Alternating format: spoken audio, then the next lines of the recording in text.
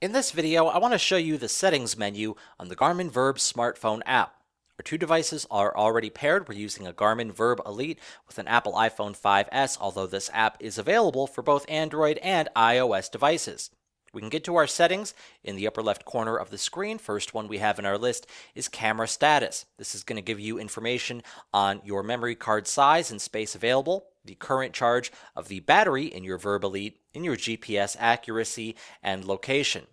Below that, we have video settings, and these are the same settings that you're going to find over on your VIRB Elite. So you can change the video mode, 1080p, Tall HD, Fast HD, and so on your field of view, which you can have set to wide, zoom 1, zoom 2, or ultra zoom.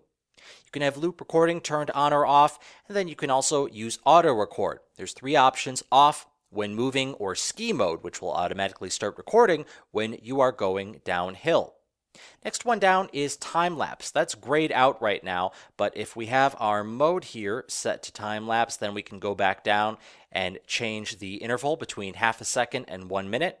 Below that, we have uh, different options for our photos. Now, here's the tricky thing is that you actually cannot take photos with the Garmin VIRB smartphone app. You can change the settings for photos for when you take them on your Garmin VIRB, but even though you can change the settings on the app, you cannot take the photos themselves with the app.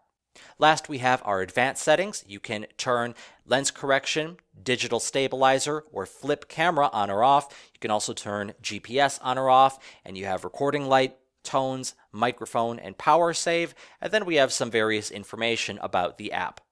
So that is a quick look at settings available on the Garmin VIRB smartphone app.